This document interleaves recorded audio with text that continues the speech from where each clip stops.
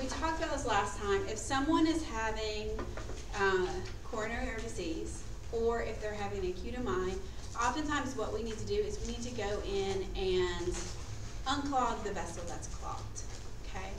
There's different ways that we can do that. What I need you to realize is that they are going to go in through a cardiac catheterization and do the intervention.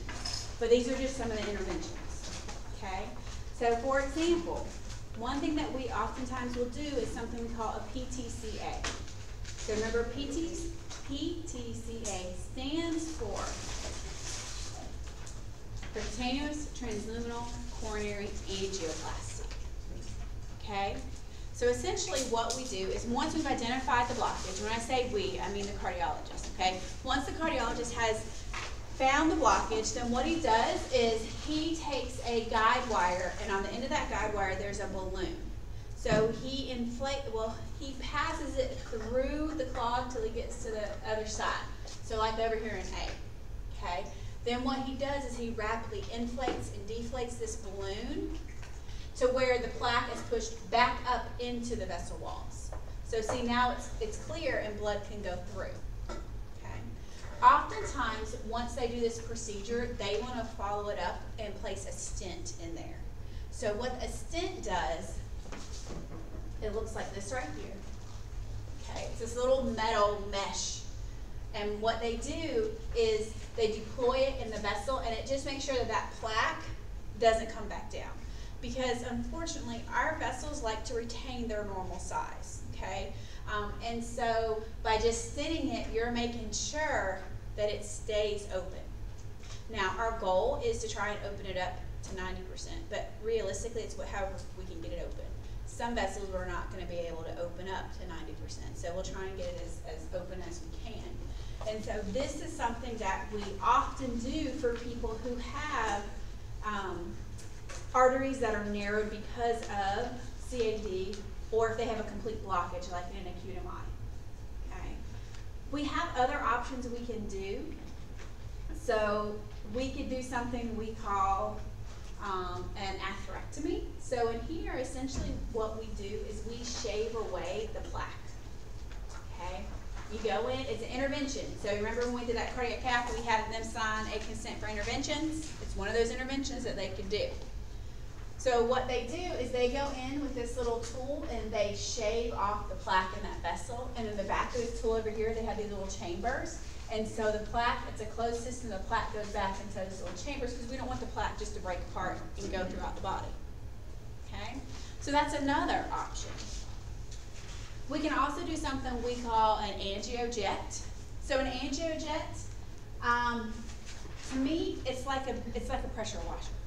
Essentially, what we do is we take high pressure saline and we wash out the inside of the vessels. And when we're washing them out, we're getting that plaque.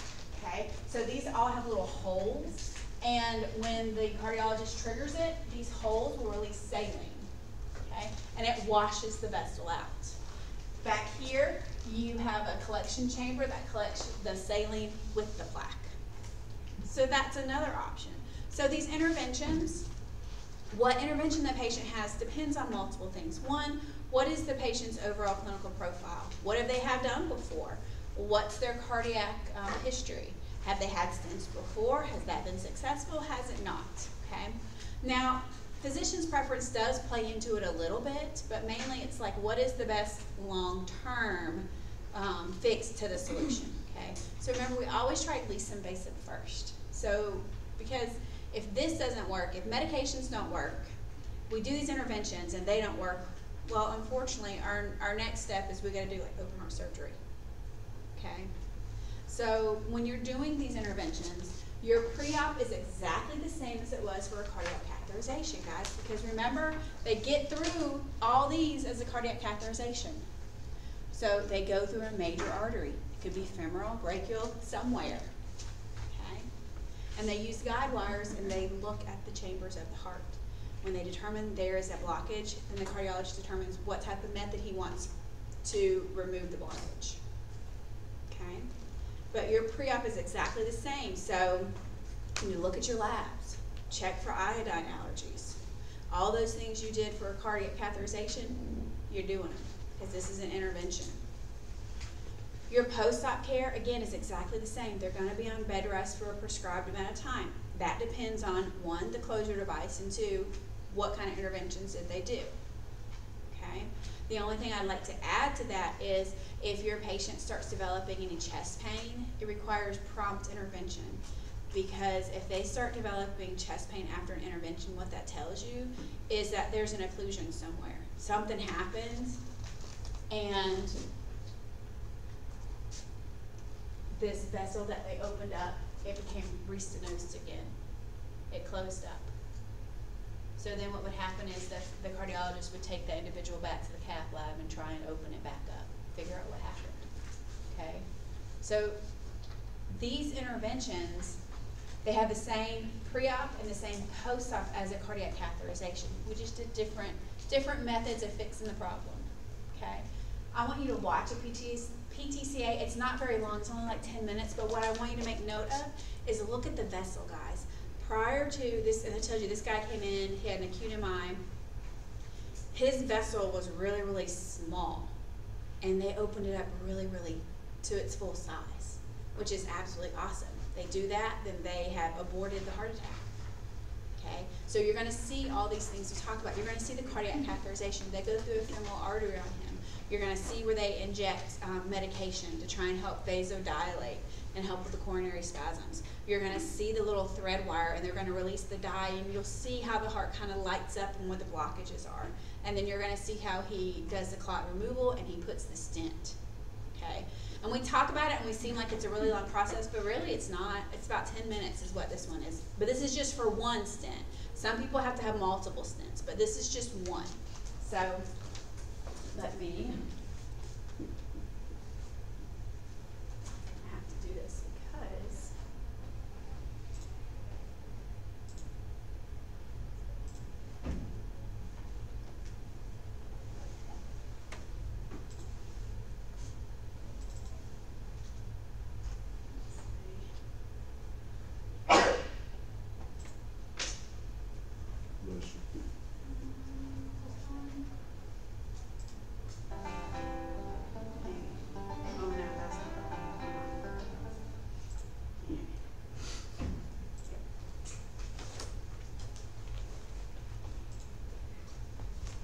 This is a uh, 57-year-old gentleman who presented with a non-ST segment elevation MI and continued chest discomfort and rising troponins. He's here for a cardiac cath to investigate his coronary anatomy.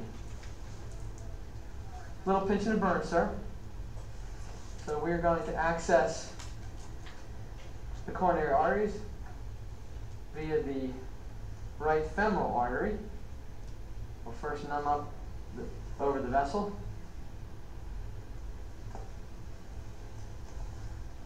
A little pressure, sir.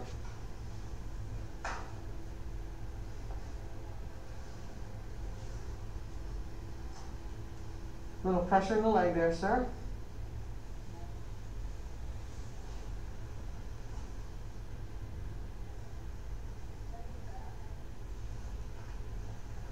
All right, we put a sheath into the femoral artery in order to pass the catheters.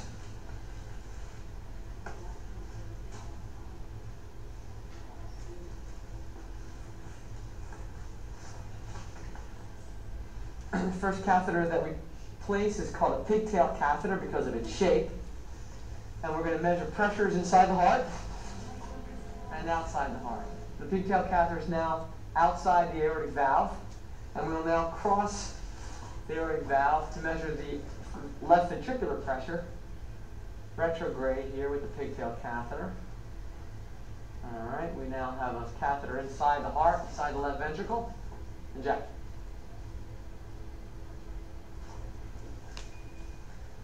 We're going to look at the arteries that supply blood to the heart, the coronary arteries, using catheters that will select the coronary arteries.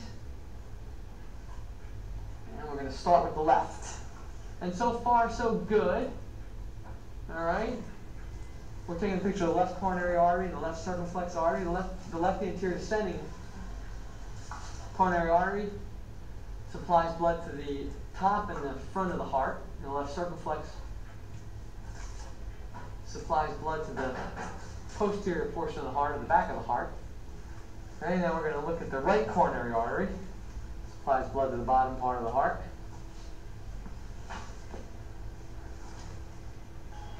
So the right coronary artery is totally occluded, and he's been having See how nothing's going down? symptoms intermittently for the last couple of days. So we're going to open up the right coronary artery. He's had, uh, looks like a little bit of damage to the bottom part of the heart, which you see in this picture here. And that's the part of the heart that's supplied by the right coronary artery. So this gentleman has an occluded right coronary artery, which is likely recent. His last prolonged episode of chest discomfort was today. So he's having ongoing discomfort. Um, he has a, a damage to the inferior or bottom wall of the heart, which suggests that he's in the process of having a, a, what we call a myocardial infarction or heart attack. The left system looks fine. So we're going to go ahead and open up the uh, right coronary artery. So what we're first going to do is we're going to uh, access the right coronary artery with a special type of a catheter called a guiding catheter. Place a wire across the blockage, and then pass a catheter that will remove uh, clot from the vessel. In patients who have acute coronary syndromes or acute heart attacks, these are from, from clot and plaque. And so to make the artery ready for the stent, we need to withdraw uh, some of the clot. So we're going to do that with a specialized catheter first. Right now we're placing a guide catheter into the right coronary artery, which is occluded. So on the bottom screen, we're going to show we're going to show the vessel as it is now that I could use for a road map, and then we're going to improve that vessel to normal. So the first thing we need to do before we uh, place equipment into the artery is place a wire, uh, manipulate a wire across the blockage in order to place all of our equipment. So we have a wire going into the artery here. Okay, so we've gotten the wire across the blockage. What we're going to do is place this catheter beyond the blockage if possible. And then through the catheter with negative suction, attempt to remove the clot that caused this artery to block suddenly this morning. And then we'll take a look at the artery and see how it looks once we do all that. I'm going to take a quick shot after the export catheter has been passed. Go ahead. All right, so the artery's open. It just looks small. Okay, now that we've restored flow in the vessel, we're going to use a balloon to open up the artery and use some nitroglycerin to get rid of some of the spasm.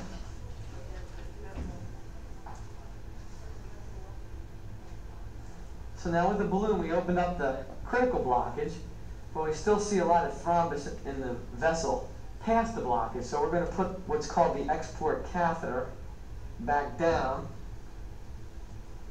and withdraw a little bit more clot from there. So after one pass with the export catheter and one inflation with the balloon, the artery's open and we're able to see beyond the blockage now and see what work needs to be done to restore blood flow through the artery. So now we're, we have the export catheter way down the artery here, way below the blockage itself, and we're withdrawing clot as we pull the catheter back through the artery. We're now withdrawing the export catheter from the distal part or the end of the artery back through the blockage and back into the catheter so we can eradicate the clot all the way through the vessel. How big that artery is. The bottom picture is a picture of the artery is a picture of the artery before we started, and the top picture is after several passes to remove clot throughout the vessel, and then an angioplasty or a balloon inflation in the beginning of the artery. As you can see, it looked like a little stub of an artery, now it's a huge vessel.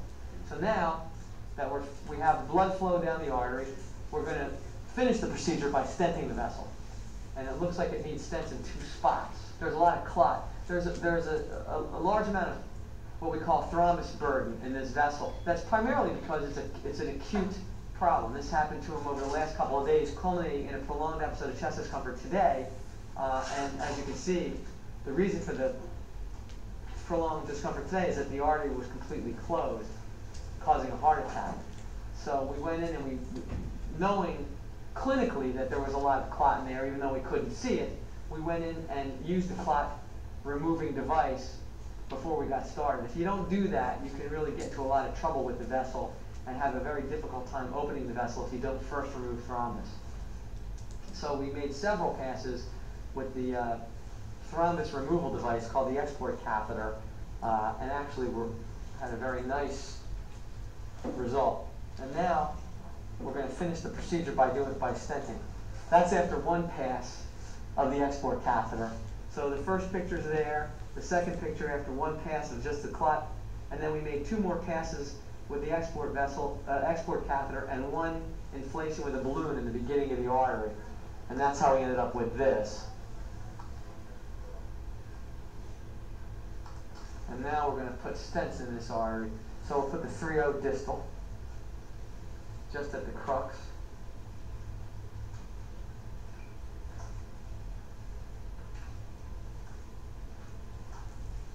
This is 30 by 15. Mm-hmm. And we're going to put that right about there. The stent is, is deployed, crimped on a balloon, and we expand the balloon, which is what we're doing right now, and that will leave the stent in the vessel. The balloon will then come down, and the stent will remain fully expanded in the vessel. So right now we are forcing the stent, for lack of a better word, into the wall of the artery with a high pressure balloon. And in about 30 seconds we'll remove the balloon and leave the stent. The first stent we placed at the, the distal most part of the artery, which is at the end of the artery. And this is the stent that will go in the proximal part of the artery.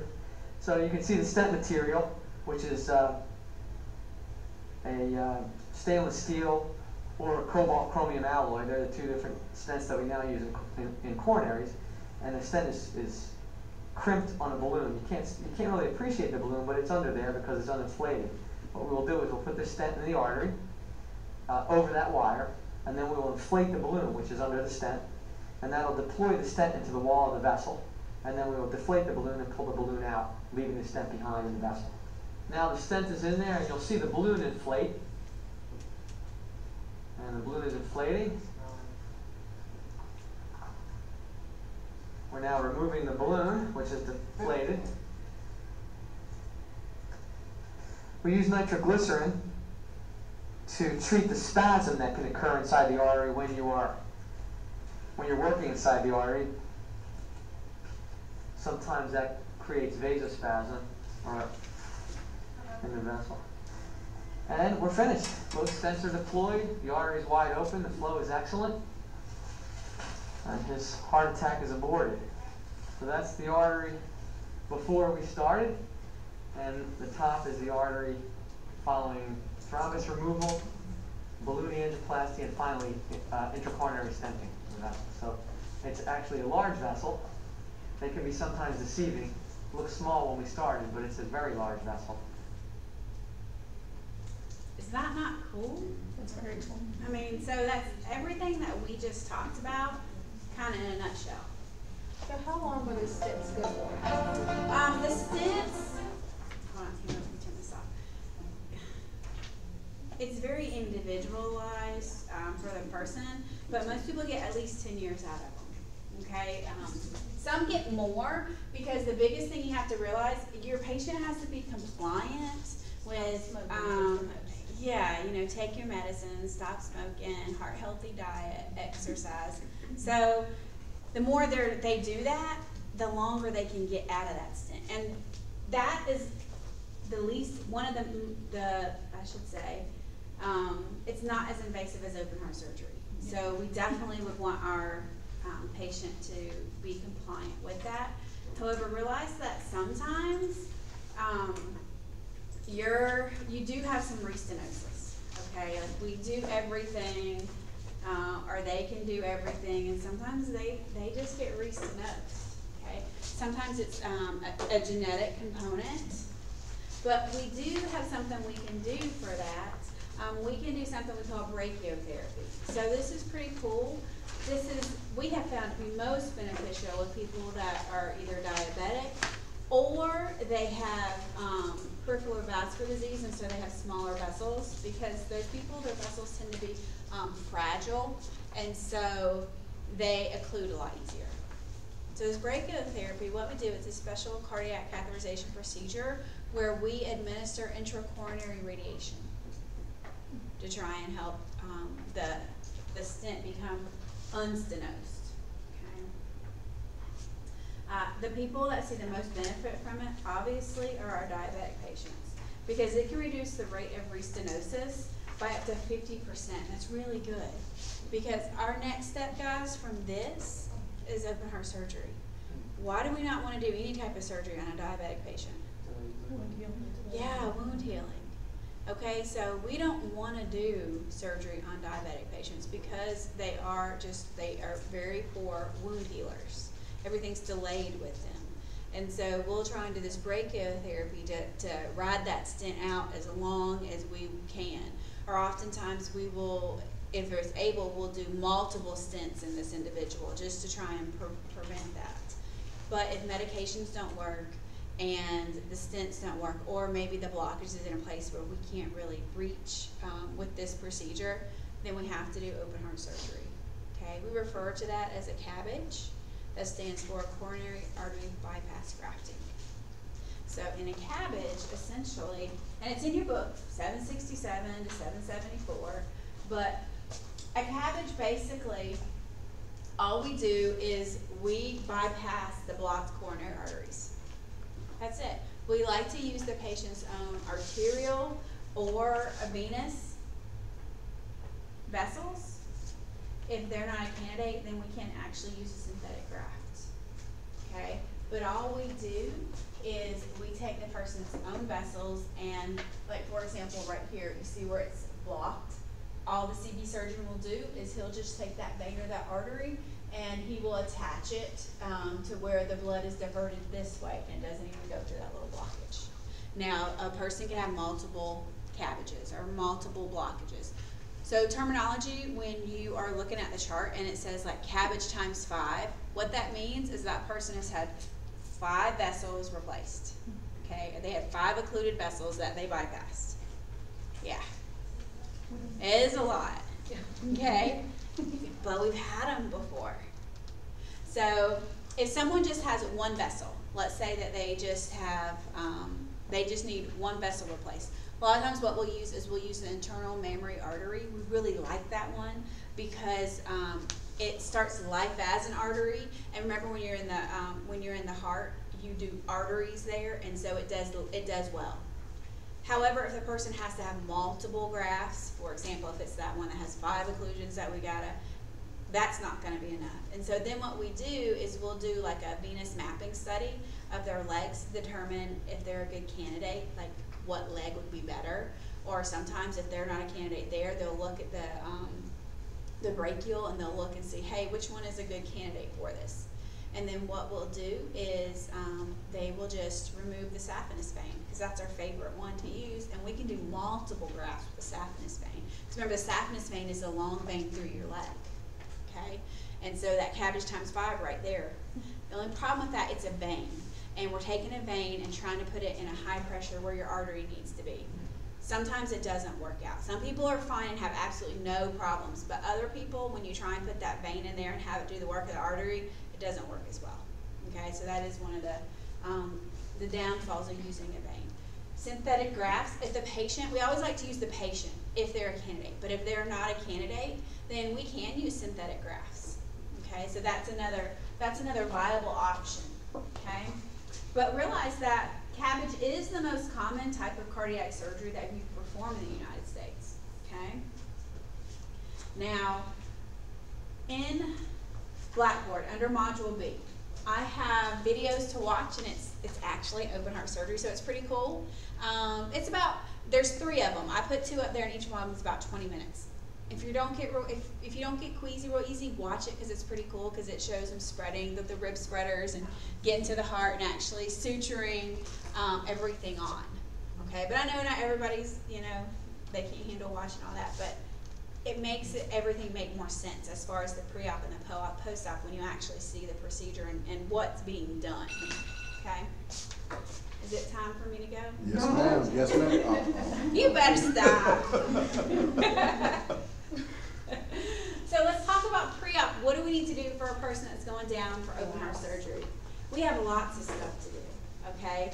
Uh, we need to make sure their consents are signed, okay? They'll have consents for the procedure, they'll have consents for blood. Surgery will come and get their own consents. We need to look at lab work, okay? Um, I listed some of the lab work we wanna, we wanna make sure and we look at. We do a chest x-ray and an EKG just for a baseline, guys, so that we have a comparison when they come back from the procedure. Uh, we will go ahead and prep, uh, HIPAA scrub three times before, okay? Usually one the night before and two the morning of. Uh, we don't shave, we clip now, okay? So we'll use the clippers and the only hair they get to keep, they get to keep the hair on top of their head and their eyebrows. Everything else is gone, okay? And think about it, they're gonna have lots and lots of invasive lines. So anywhere there's hair, there is a potential portal for entry or you have a risk for infection. So we try and get rid of all of that, like their arm hair, they have multiple IVs. Um, for our guys, like their back hair, chest hair, all that, we take, we get rid of all of it. Okay? Uh, the other things we want to make sure and do is we do cultures, and the reason we do cultures is because we want to make sure they don't have an ongoing infection. Okay? Especially when Obamacare came in, there was some changes to reimbursements, and so realize um, if a person develops a, an infection in the hospital, then it's considered a hospital acquired, and so they're not reimbursed for that. But some people are just carriers um, of MRSA. I mean, if you were to swab a lot of nurses, a lot of us would carry MRSA. I don't get swabbed. I just say treat it. Mean, that's swabbing. I want. I don't want to be in an isolation room, and I don't want my tray on a styrofoam. So, but that's but over fifty percent of us are carriers MRSA, and it's okay because we're not sick. But when you're sick, that's when the MRSA infection will mess you up. So we need to know that because if they have MRSA, they're a carrier of it, but let's say we don't do cultures, so after 48 hours where they're in the hospital, then it's considered a hospital acquired condition when it truly wasn't hospital acquired, they're just a carrier of it.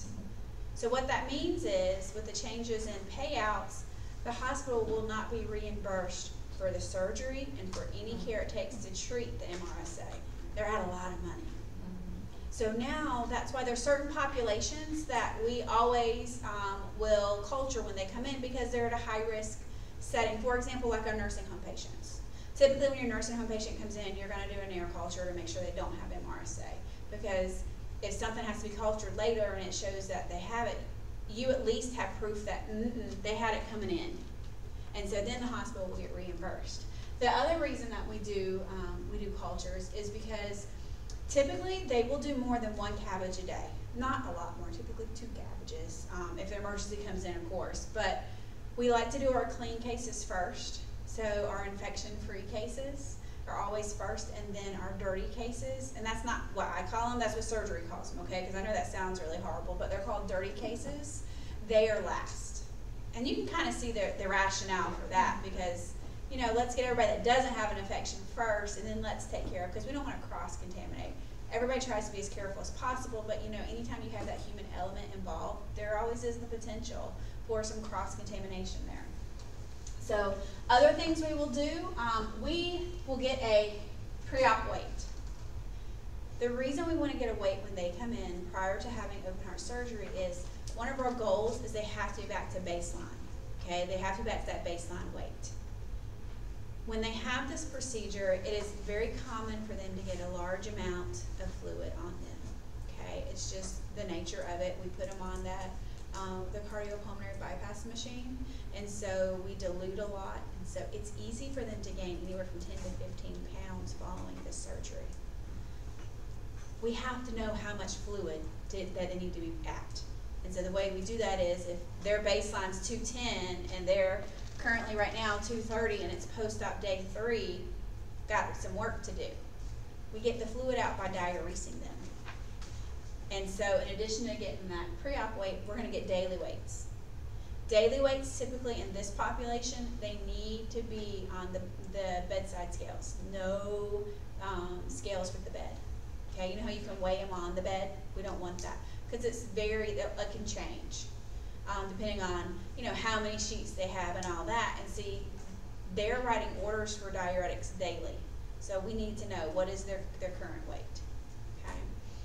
Uh, we also want to teach about post-op care. This is so important to do before surgery, guys, so they know going in what to expect.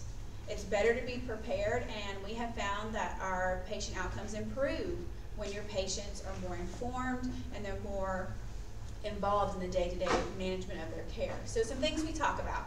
Well, number one for me is pain management. Okay, I don't know about y'all, but I like my pain rating to always be at a zero. I mean, it's realistic for me. But after open heart surgery, it's not realistic to expect a pain of a zero at all times. Remember, they cracked open your chest and played with your heart. It's gonna hurt. So we talk about let's be realistic with your pain. So oftentimes a pain goal of a zero, while it's not realistic, um, we kind of gear more towards, well, how about a two or a three? Okay. We want to get the pain to where it's manageable. Okay. Uh, more like the way I describe it is I usually say a toothache. Okay. It's a toothache that you can manage things with because we all have had a toothache, and while yes, it's there and you're aware of it, you're still able to do other things. It's not like excruciating for the most part, and you just can't do anything. So that's usually um, the first thing we talk about. Also, you have to gauge your, your patients. The problem we have with our older patients, they don't like to take pain medicine because they're scared they're going to get addicted. Okay? Um, you got to inform them if you truly are hurting, then you're not going to get addicted to pain medicine because what you will find is your older people, they will hold off as long as they can before getting that. And the problem is that's going to, again, impede the healing process because if you hurt, you're not going to want to move. You're not going to want to take deep breaths. You're just going to want to be there as still as you can, and that's not what we want.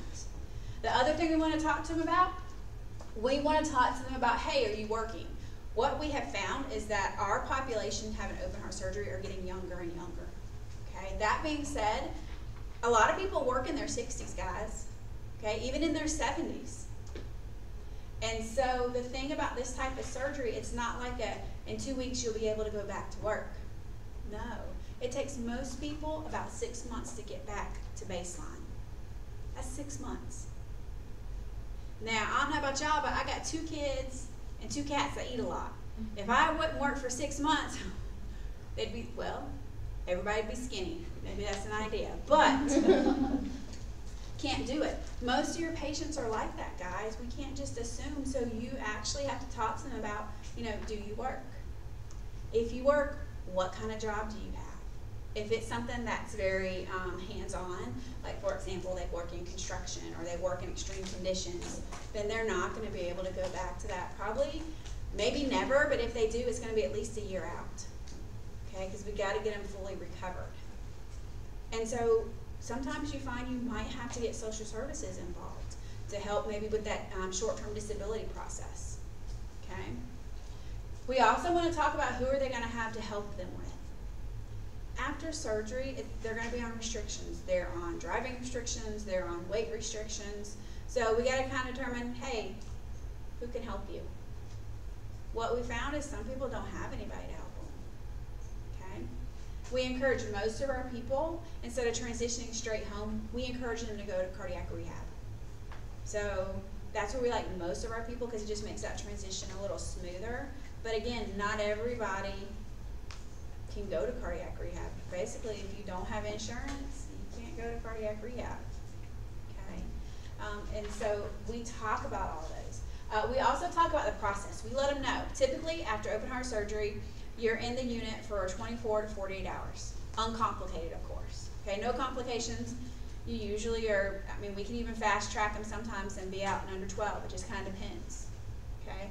But 24 to 48 is typically your, your main goal. And then after that, what happens is they transition to a step down unit. And they'll be on that step down unit until discharge. So for an uncomplicated um, open heart surgery, your average length of stay is about five to seven days. That's it. Okay? And that's not a long time. So that's why you have to start educating early and trying to get the patient involved and trying to get the family involved early so they're aware of them. So you kind of let them know. You let them know that they are going to have to move after surgery. Okay? People don't want to move because it hurts. So you let them know you you're you're going to have to move. Typically, um, after 24 hours, we're getting up and we're walking them. They'll have chest tubes, they'll have Foley's, they'll have all these drains, but they're still walking. Now we'll medicate them, of course, but we need them up walking. And not, I'm not saying like they have to walk in the hall, but they gotta they gotta walk. Why do we want to promote early ambulation? What does it prevent? Yeah, DVTs, blood clots. It promotes GI mobility. We want that, that gut to start moving because remember when they're put to sleep, everything's put to sleep. Okay? We also want them to use their incentive spirometer. Why do we want them to use their incentive spirometer? It does hurt, but why do we want them to use it? Expand their lungs. Expand their lungs, yeah, so we don't have to worry about pneumonia. Okay? So again, we're gonna keep them medicated, but these are things that, you know, if you got a cough or if you gotta take a deep breath, let's use that pillow. That pillow is gonna be their friend. Okay? Incentive spirometer, a lot of people don't know how to use this in- incentive spirometer. They don't use it correctly. And so I always tell people, remember, it is a suck, not a blow. I tell people, and I have found that most clients do better when they can visualize something, make it relatable. Okay, then they'll remember. So I hold up my incentive spirometer. I say, okay, you see this? This is a vanilla milkshake from Sonic. Mm-hmm. Because most people have had a, a milkshake from Sonic. This is your straw. Stick it in your mouth and try and suck it up. So then, when you're not there telling them, they'll be like, oh yeah, yeah, okay, this is a milkshake. Most people don't blow into the straw in milkshake; they suck it up. Mm-hmm. So they're going to remember, but little things like that, guys, it keeps it in their brain and they will remember. We want them to do that 10 times every hour while they're awake. And it doesn't seem like much, but it really is when you're when you hurt. Mm-hmm. But we need all that. We need all that. So we tell them that. Other thing we like to tell them, if you were able to cut your food up and eat your food prior to surgery, then we're going to want you to do that after surgery. So sometimes you got to um, gently remind their partner that we didn't operate on their arms. They can eat. because think about it, guys. We only have about five days to really figure out what what resources do they need. And what you find is most of the time, um, their partners, especially our men, their partners like to help them out maybe a little too much to begin with. Okay, um, and so sometimes we we do have to be like, let them cut up their food, let them eat, let them hold their urinal. Okay, they got it. Those types of things. Because we take that Foley out post-op day one. We don't let them keep it in. Because remember, we want them moving. Most people don't want to pee in their bed, so they're going to get out of that bed and go to the bathroom. Same reason why we don't let them have a bedside commode. Okay? We want them to do more than just plop from one to the other. We want them to walk. Now, of course, there's always going to be certain conditions where you're, you're going to need that. For the, but for the majority of our people, they can walk assisted to the bathroom, and that's what we want them to do. Just a little bit of movement is better than no movement. And so we talk about all that before. The other thing we really want to uh, mention is medications. Most of the time prior to the surgery, your patient is on a lot of medications, okay, for their CAD. Anywhere from 10, 15 upwards. Well, we're fixed that problem. We have opened up all of their vessels now. So they're not going to be on that amount of medication. And so just make them aware of it because some people do get really upset when you mess with their meds. So let them know, hey, typically we only keep you around four or five meds. And then if we need to, we'll add them on. But oftentimes we'll hold the blood pressure medicines, um, we'll hold all that kind of stuff to see how they're gonna do on their own. Usually when they come out, uh, they'll be on things like an aspirin, okay, uh, 325 aspirin. They'll be on um, usually a nitro patch. That's going to help with vasodilation. They'll be on like fish oil. Fish oil helps with um, it helps prevent um, dysrhythmias, specifically atrial dysrhythmia, because that's the most common um, dysrhythmia after open heart surgery. Uh, they'll be on vitamin C. Why are they on vitamin C, guys? What's it help with? So they gotta do like collagen It helps with wound healing. Remember, vitamin C promotes wound healing. They'll be on iron because they typically are a little anemic. Okay? And then will a beta blocker. We usually like a beta blocker only because it makes their heart work smarter, not as hard, as long as they meet parameters with their heart rate and their blood pressure. So that's really all. They'll just be on that little handful. And then we'll add on as needed. So just let them know that prior to, okay? Because it does freak some people out when you don't bring their meds, or you don't bring them on time, or you don't bring all of them, okay? So once they go to surgery, what happens is they are actually put on a cardiopulmonary bypass machine? So remember, that's just a machine that diverts blood from the heart to this bypass machine. Once it's in the bypass machine, we heparinize it, we oxygenate it, and then we return it back to circulation. Okay? The other thing we do is we're gonna lower their body temp. Okay, because remember it doesn't consume as much oxygen, so we um, lower it to around 95 degrees Fahrenheit. Okay? Then what happens is we give a potassium infusion to the heart, and it's going to stop it. Then an incision is in is is made, and the bypasses, the little grafts, are sutured in by the cardiologist. Okay, that's a CABG in a nutshell. But watch them; it's pretty cool. Okay, under module B, I have links right there to them, so you can go at the very bottom. Okay, when they come out, things you need to be aware of. Once surgery's done, they're gonna be in the critical care unit for twelve to twenty-four hours, okay? They're gonna be on a ventilator. They're gonna have chest tubes. When they're on the ventilator, they're sedated. Chest tubes are gonna help with drainage. So for you, as far as taking care of the chest tubes, the biggest thing you can do is you wanna make sure that the chest tubes aren't kinked anywhere. So the chest tubes, typically it's three chest tubes and they're kind of placed like this around the heart, because remember our heart's kind of right here in the middle. And what it helps with, it helps promote the drainage, okay? But you'll just have one connector and you'll have one big tube right here. So you want to check from where the insertion site is to the atrium where it's connected and make sure that it's not kinked anywhere. Because if it's kinked, it's not draining. The whole purpose of the chest tube is to drain that blood from around the heart, okay? The other thing you want to make note of, you want to make sure at the beginning of your shift that you look at your output from that um, chest tube. You're going to measure it hourly. Guys, if you have more than 150 mLs in an hour, there's something wrong. You better be calling the physician. You shouldn't have that much output in an hour. Okay? You're going to have pacing wires. The reason they put in pacing wires and um, is because sometimes the heart gets very irritated when we manipulate it, and so it won't work like it should. So the pacing wires just allow us to externally pace the heart. Okay. We have to worry about dysrhythmias, and again, those pacing wires are going to help with that.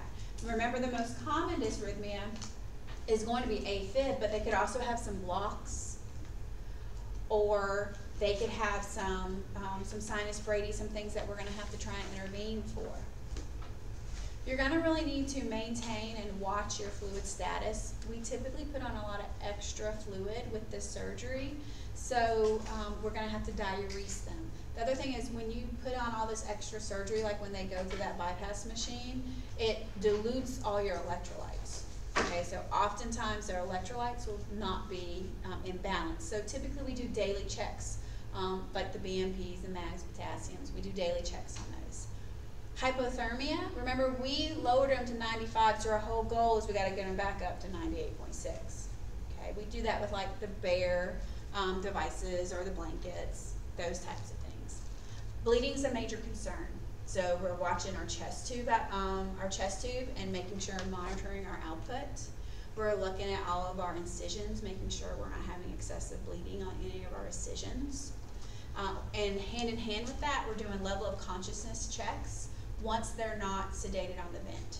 Okay, you can't really do a level of consciousness when they're sedated, but once they're not sedated, we're checking them. You follow your hospital's protocol, but it's very frequently. And the reason that is, is because remember, sometimes you can have a bleeding in the brain. And so one of your first indicators of that is, is to change their level of consciousness. Okay, so we want to make sure and check that. Again, pain is a major concern here, and it's a valid concern. While they're in the unit, they get pain medicine around the clock. But then once they go um, to one of the step down units, because our goal is to try and transition them home, we make the pain medicine PRN. Sometimes we forget to tell the patients that. So they think you're bringing them pain medicine and you keep waiting for them to tell you they want something. So you want to do pain checks frequently and you want to try and keep them comfortable, okay? Because that first, after that first day, they're getting up and walking around, okay?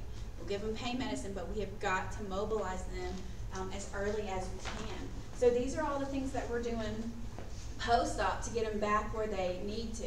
The other thing we really got to make it make sure we're checking is vital signs very frequently. We worry about hypotension and hypertension. So let me tell you why I worry about hypotension. So they are suturing grafts on to the heart. Okay. If we don't have sufficient blood flow, which means they have a low blood pressure, then what happens is that graft can collapse. When the graft collapses, blood's not able to go through it. So remember how we tried to divert it to go all the way to where the area is that it needs to go? It can no longer go there. On the other end, though, we worry about hypertension because they sutured the grafts.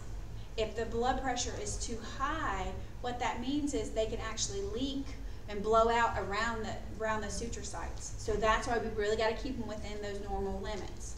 We don't want them to go either way because either way is bad for them. Okay? Now, the other thing I like to talk about a little bit here is I like to talk about your harvest sites. Remember I told you they like to use, if it's just one, we'll use the internal mammary artery, okay? But if it's more than one, we like to use the saphenous vein. This is your saphenous vein right here. We have two ways that we can harvest it, okay? We can do something we call a short incision. So in a short incision, what the, uh, and usually it's the physician assistant that does this while everybody's prepping them for surgery. So he will make an incision right here at the top, kind of right, right the groin right here, and then he'll make another incision right here. And what he'll do is he'll snip it on one end and he'll pull it out the other end. Okay? And then you have like two, they're like an inch inch long incisions. And he'll close those with Dermabond. Okay? That's the preferred method because think about it, I only have two little incisions that are closed with Dermabond. So one that reduces my likelihood of developing an infection or dehiscence. The other way they do it is something we call a long incision. So this long incision is for people that have veins that are really hard to get to, or maybe they have a lot of, um, I mean, they got like chunky legs and it's hard to get to them. That's when the PA actually has to open them up. And you see it is a very long incision. The reason we worry about this is remember I told you in this procedure that they're going to put on extra fluid. Where does our fluid go to? Yeah, it goes down here. I know Dr. Whitaker's group. She told y'all about. Uh, had to had to educate her on some uh, CHFers and some things that they'll experience. she, she wasn't supposed to share my exact words that I that I said, but she told me she did. But remember, fluid goes downward, and so the problem with that is if you have an incision right here, okay, you know you're going to have fluid that they're going to swell and it's going to go down here. You have to worry about dehiscence. Guys, remember dehiscence is all, all it's saying is this incision has spread open again. Well, then you have to worry about infection, guys, because look how big it is. Okay? So we got we don't like this, but if you have a long incision, you better watch it carefully for any signs of dehiscence. Okay? The other thing you have to be aware of is with the the vein that the leg was harvested, the circulation's not as good on that leg okay? Because it's missing a, it's missing a vein. and the patient is fine, but just some things to let them know. That leg is typically a little cooler than the other leg. That leg tends to swell a little bit more than the other leg. So oftentimes we'll tell them, hey, when you're sitting down, let's elevate it. Because it will, that leg will just swell up, and the other one will be fine. So we just let them know. Other things, because we know they don't have as good as perfusion, we don't really want them crossing their legs. Because remember, when you cross your legs, you impede your circulation even more. Okay?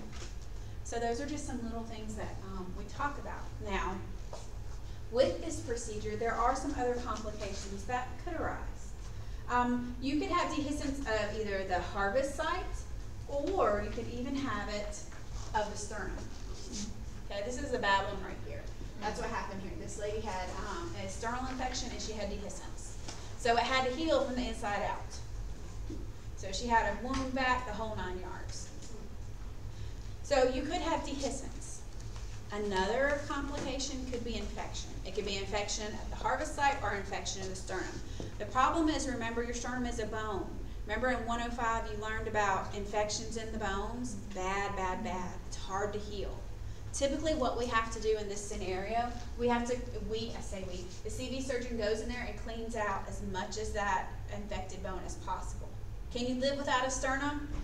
Yes, but think about what all your sternum protects. A lot, okay? So that's what we'll do, and then um, we'll have them on heavy dose antibiotics, long term, and then sometimes we'll even do like vancomycin washes. We'll put tubes in there and have continuous vancomycin washes go in there, and we can even do wound vacs. The other thing that could happen is they could develop a cardiac tamponade. So that's why you want to keep a check on your chest tubes and make sure it's not kinked anywhere, that it's actually, the output is um, coming like it should. They could develop pleural effusions. Okay, most pleural effusions do resolve on their own, um, and usually what happens here is we just pulled the chest tubes too early, and that's what caused it.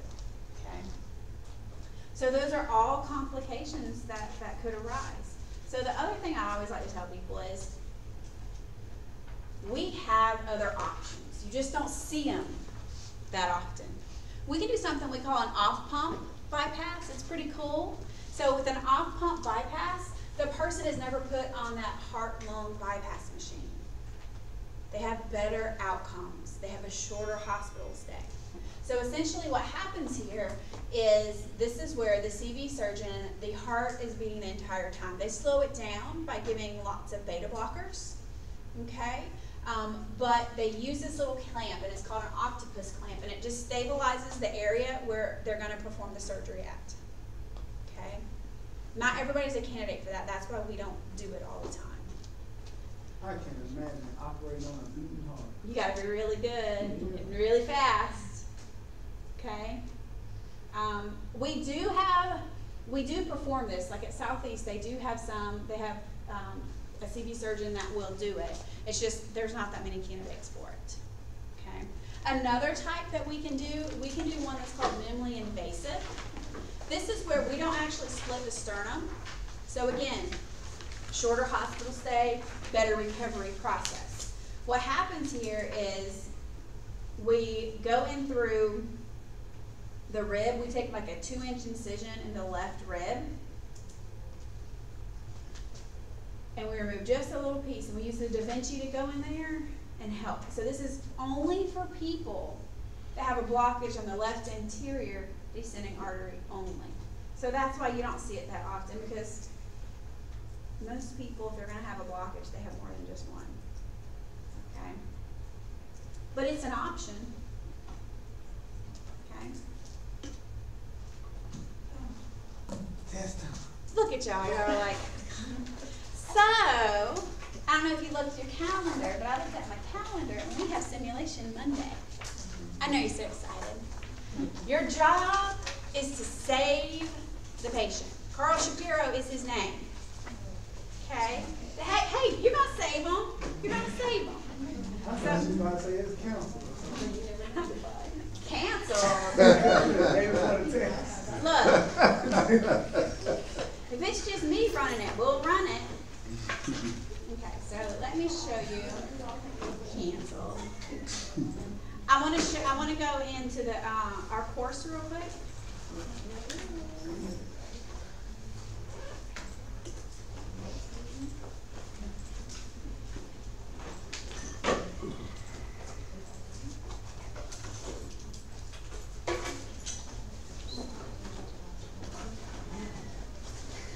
Okay, and let me show you.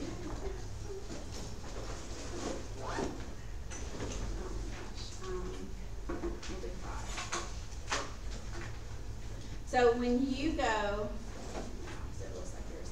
So when you go, um, to your simulation, you have mod B.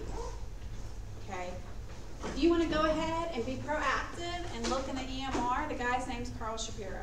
You can look at his orders, you can look at his meds. I need you to do this prep sheet, okay? So you're gonna do this prior to. And I tell you, so if you will just follow the directions, you will do absolutely wonderful. Follow directions, okay? I ask you four little questions. So I do expect those four little questions to be answered thoroughly, okay? And it's things we already talked about. Chest pain, what's nitro protocol, what labs are you gonna look at, and hey, what's in their history? This is what you get to take with you to SIM, so you kinda wanna answer it thoroughly, so you know. Then you have medications. There's only three medications, nitro, morphine, and aspirin. You already have a card on nitro. That being said, when you look at your weekly, um, your weekly meds, I think nitro is one for last week. So this week there was a typo on it. It should be omega three, not omega two. So I just want to make sure it's omega three. So guys, now you only have to do one on morphine, and probably most of you have already done one on aspirin at some point in time. Okay? So it can't be in your head. It has to be on that piece of paper. So make sure you bring it Monday because I'm going to check it. Okay? Your templates that you need for the meds, they're right there. Okay. Blue ink is your friend. And don't worry, I have lots of other fun activities for us to do Monday in between Sims. Um, it'll probably be two to a bed, so it'll be you and a partner. Okay, probably not a partner of your choosing, because I like to put you with someone that you don't really hang with, so you can work on communication. Because it's easy to communicate. Well, apparently it's easy for everybody to communicate with Jay. so I'll find you somebody. Um, but I want you to maybe communicate with someone that you're not as comfortable with, as familiar with. Because in the hospital setting, you're just grateful for any help you can get, really. And so sometimes it's communication is what we have to what we have to work on. Okay. But that'll be Monday. So remember clinical attire. Uh, you need a watch, a stethoscope.